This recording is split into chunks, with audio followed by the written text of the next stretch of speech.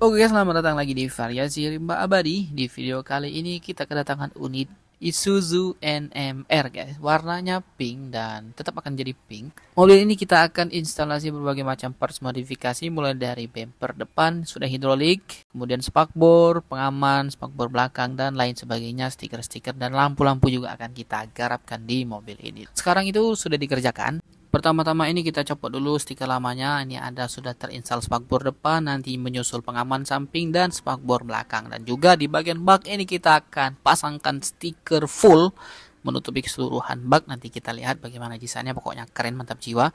Nanti untuk pengamannya kita pakai pengaman stainless dan selanjutnya akan kita juga pasangkan bumper model Patriot yang juga include dengan hidroliknya juga guys.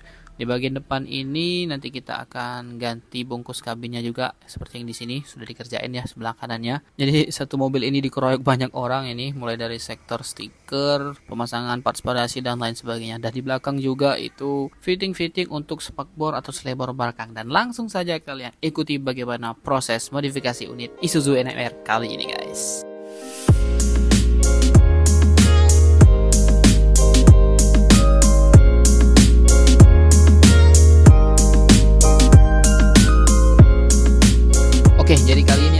Untuk hidrolik unit Isuzu NMR-nya guys. Jadi hidroliknya lagi proses pemasangan dan yang lainnya juga masih stay in progress.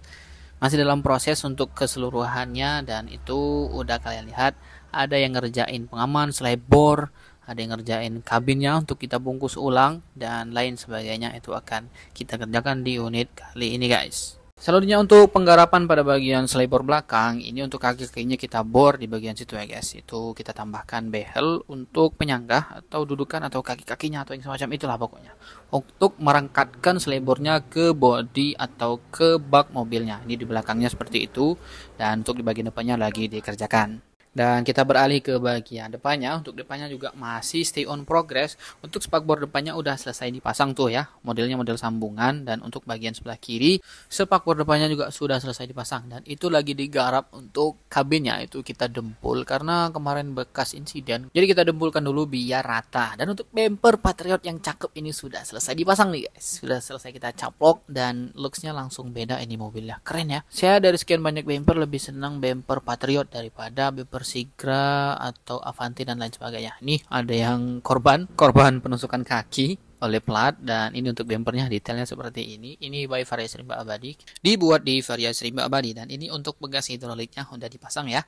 Dan ini untuk bumper lamanya udah dicopot nih di depannya. Dan ini masih dengan korban tadi. Sibuk dia guys, sakit kayaknya. Selanjutnya dan ini untuk garapan dari pengaman sapinya udah masuk ya. Kita ada gunakan tiga batang pipa pipa stainless dan nanti di bawahnya dikasih pipa yang kecil. Jadi seakan-akan itu menjadi lips dari pengamannya. Ya pengamannya kita buat menyambung dengan spakbor depan dan belakang. Dan ini adalah hasil setelah kita pasangkan pengaman sampingnya. Ini udah selesai digarap tinggal finishing. Finishing dimaksud adalah tinggal kita rapi-rapikan lagi kemudian kita cat dan nanti kita pasang di mobilnya. Dan untuk sekarang ini udah selesai digarap. Dan ini untuk detailnya kita kasih pipa kecil di bawahnya. Itu terkesan seperti lips dan dia mempermanis lagi. Dan untuk dudukannya kita laskan di sini. Itu tambahan kita kasih behel biar bisa nempel kalau dilas kalau enggak itu enggak bisa guys. Kalau enggak pakai behel itu karena kalau langsung ke dempulnya ya lasan enggak bisa nyambung gitu. Dan ini ada unit dua masuk kantor mau instalasi bumper dan lain sebagainya. Untuk bagian sebelah kirinya on progress. Kita lanjut garap di bagian sebelah kiri untuk pengaman samping yang kita sambungkan dengan spakbor depan dan spakbor belakang. Untuk kabinnya juga masih still on progress untuk kita rapikan lagi biar nanti rapi setelah kita pasangkan atau kita bungkus kabinnya. Mantap. Selanjutnya ini kita sudah naik ke proses pengecatan kabinnya. Kita cat warna putih ya biar sewarna dengan kabin aslinya warna putih. Setelah ini baru kita akan bungkus menggunakan warna pink Setelahnya baru kita kasih stiker dan kita lanjut aja untuk progresnya guys. Nah jadi untuk pengaman samping kiri kanannya ini kalau kalian notice kok nggak ada, ini bukan berarti nggak jadi pasang. Ini lagi kita finishing, kita rapihkan dulu, baru kemudian kita naik ke proses pengecetan. Nah untuk bagian sebelah kanan juga masih kosong ya pengamannya dan sebagai gantinya kita akan langsung garap untuk pemasangan stiker bak besar nih tulisan Anggika Transport. Ya, betul Anggika Transport. Ini stiker atau gambar custom seluruh bak ini kita tutupi dengan stiker hampir keseluruhan. Mirip-mirip dengan yang pernah kita garap kemarin, itu mobilnya belum diambil. Dan bagi kalian yang belum nonton videonya, langsung saja cek channel YouTube kita untuk video reviewnya guys. Dan selanjutnya di bagian depan ini juga masih belum dilakukan apa-apa ya untuk bumpernya.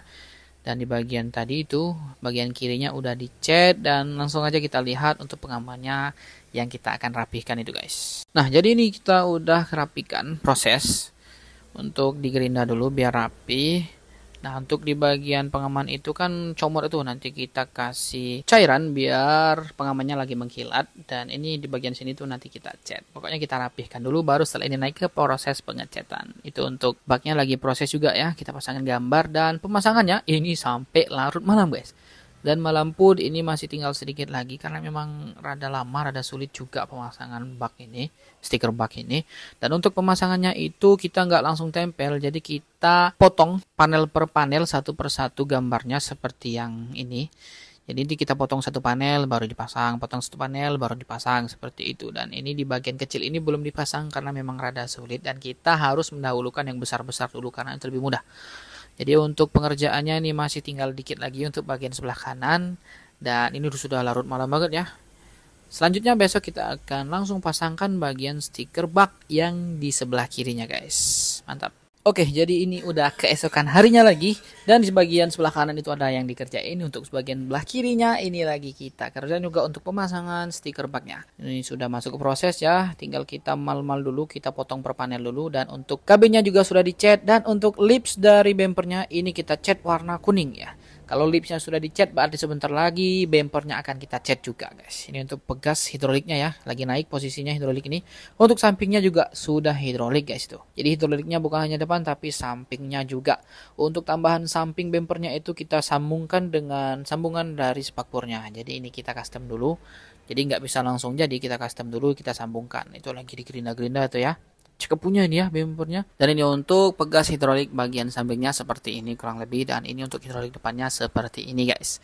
Selanjutnya kita akan bahas Bagian bak sebelah kanan yang sudah kita garap semalam, ini kita tambahkan pipa stainless lagi ya di bagian samping baknya. Ini tujuannya untuk mempermanis looksnya lagi. Untuk bagian kabin belah kiri ini juga sudah naik ke proses pemasangan wrapping sticker. Sudah naik proses bungkus kabin juga yang kita cat kemarin dan kita lihat di bagian belakang bengkel. Lagi proses pengecetan untuk pengaman samping yang kita sudah rapikan kemarin dan untuk pengecetan di selebor belakangnya juga guys. Ini untuk pengamannya ya. Udah halus udah rapi udah mengkilap. Setelah ini kita cat bagian sini dan juga ini juga kita cat dan untuk selebornya itu kita cat di bagian dalam dulu. Karena kalau kita langsung bagian luar dicat nanti dalamnya nggak kecat guys. Karena kalau ditungkup kayak gini dibalik kayak gini nanti kalau bagian luarnya sudah dicat duluan jadi malah baret malah lecet. Jadi kita cat bagian dalam dulu. Ini salah satu trik ya bagi seorang pemula. Mantap. Dan untuk bagian ini masih on progress juga nih. Untuk tambahan samping hidroliknya yang nyambung dengan spakbor masih dalam progress. Dan langsung saja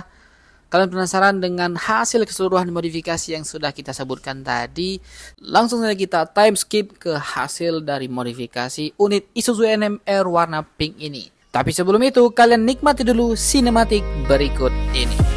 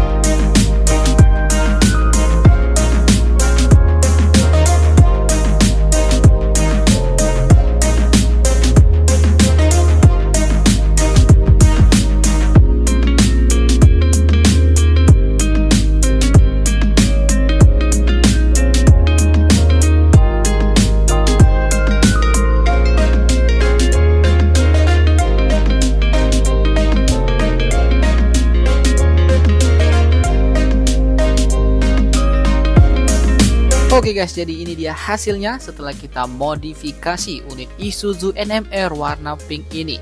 Ini modifikasi dengan budget 18 juta. Kalian sudah bisa mengubah Isuzu NMR kalian jadi seperti ini. Dari kita aja 18 juta sudah jadi seperti ini guys. Itu tidak termasuk well dop karena dia well dopnya udah pasang dan lain sebagainya seperti Tule ini dia juga sudah pasang sebelumnya dan ada yang lain-lain juga seperti pada bagian stiker dada depan dan juga pada bagian stiker gambar belakang. Ya paling itu untuk modifikasi bawaan sebelum kita garap. Stiker dada depan tule dan stiker belakang itu sudah bawaan dari mobilnya sebelum masuk variasi rimba abadi. Oh ya dan wedok belakang juga ya guys. Dan dengan budget 18 juta mobil ini jadi sekeren dan seganteng ini dengan 18 juta itu sudah jadi ganteng seperti ini guys. Itu sudah include parts modifikasi, bumper, spakbor, pengaman dan lain sebagainya. Stiker, lampu-lampu serta pernis juga sudah include dengan uang 18 juta itu. Bagaimana menurut kalian? Kalian tinggal komen saja di kolom komentar apakah worth it dengan budget 18 juta bisa mengubah Isuzu NMR atau truk kalian jadi seperti ini guys. Thanks for watching.